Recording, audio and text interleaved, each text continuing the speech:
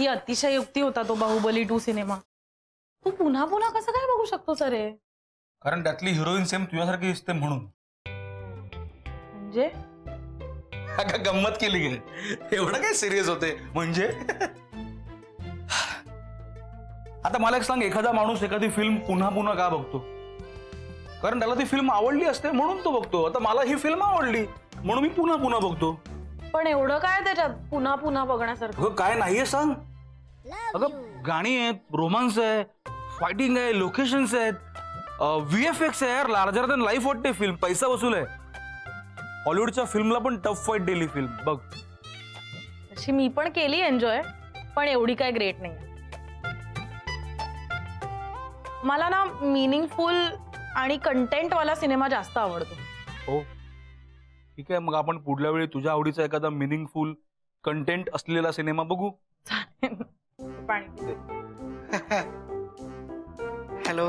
हाय. ऑफिसला नाही गेलात का आज?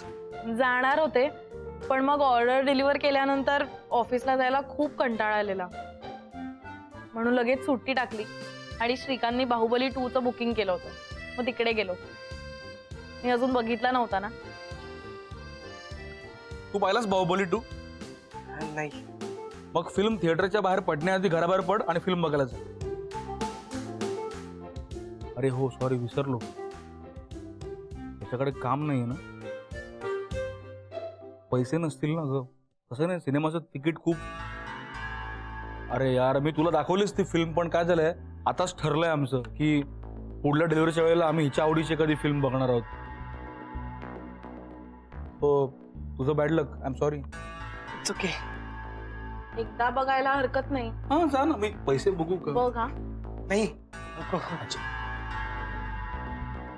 म्हणजे मित्राबरोबर एवढं वाईट घडलेलं असताना तो बिचारा दुःखात असताना तुमच्यासारखं फिल्म वगैरे मला नाही एन्जॉय करता येणार.